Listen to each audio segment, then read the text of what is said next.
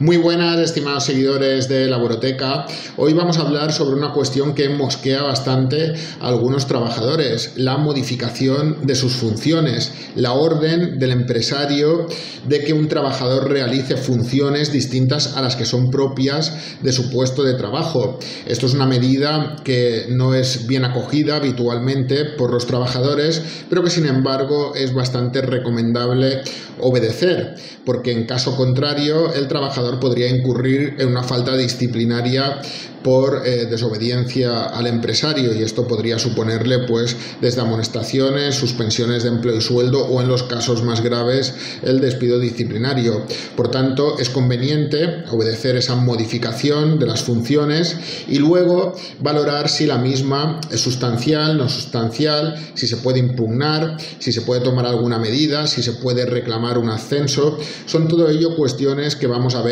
en este vídeo. Si os gustan este tipo de vídeos, y os sirven los contenidos que publico, suscribíos a mi canal de YouTube y así me ayudáis a seguir creciendo.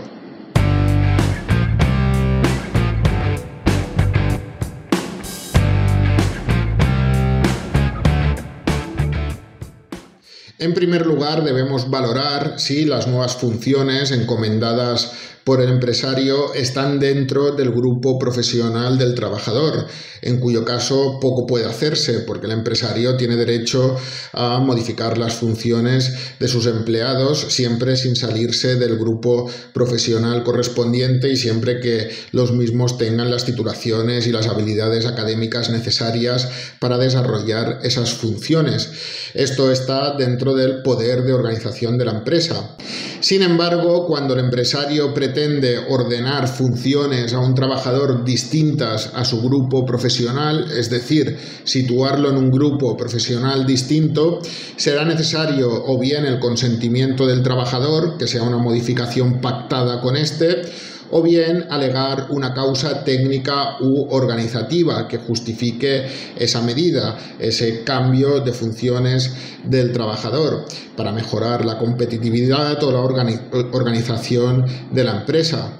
Si se trata de una modificación a la baja, es decir, las nuevas funciones corresponden a un grupo o categoría profesional inferior, el trabajador tiene derecho a que se le mantenga su salario, es decir, a que no se le rebaje su salario, aunque sus nuevas funciones correspondan a una categoría profesional con un nivel salarial inferior de acuerdo con las tablas del convenio colectivo aplicable. Y por contra, si se trata de una modificación al alza, es decir, las nuevas funciones corresponden a una categoría o grupo profesional superior, el trabajador tiene derecho a reclamar el nivel salarial que corresponda a esa categoría o grupo profesional. Además, si realiza esas nuevas funciones superiores durante un periodo de más de seis meses durante un año o ocho meses durante dos años, tiene derecho a reclamar el ascenso, a reclamar esa categoría profesional superior para la empresa se la reconozca definitivamente.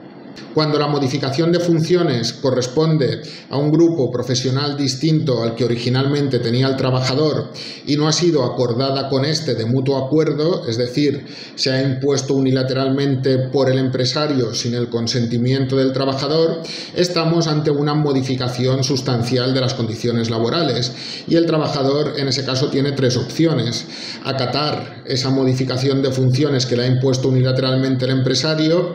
impugnarla si considera que no existen razones que justifiquen esa modificación de funciones y reclamar sus anteriores funciones, que se le restituya a su anterior grupo profesional y con sus anteriores funciones de trabajo. Y la tercera opción sería extinguir la relación laboral, aunque existan razones justificadas para que el empresario modifique las funciones del trabajador, este no está obligado a aceptar esa modificación y a trabajar en unas funciones y en un grupo profesional distinto al que había acordado inicialmente con el empresario en el contrato de trabajo. Y por tanto puede solicitar la extinción de su relación laboral con derecho a cobrar una indemnización de 20 días de salario por cada año trabajado en la empresa con un tope de 9 mensualidades y a solicitar la prestación por desempleo, es decir, a cobrar el paro.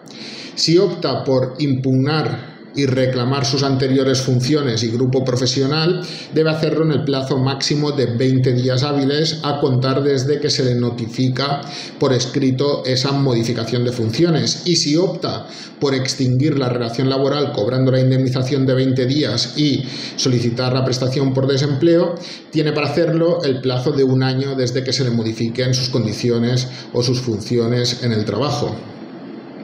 Y esto es todo en cuanto a la modificación de funciones en el trabajo. Si queréis consultar vuestro caso particular, podéis hacerlo a través del buzón de consultas de laborteca.es. Yo por el momento me despido de vosotros, os invito a suscribiros a mi canal de YouTube y nos vemos muy pronto en el siguiente vídeo.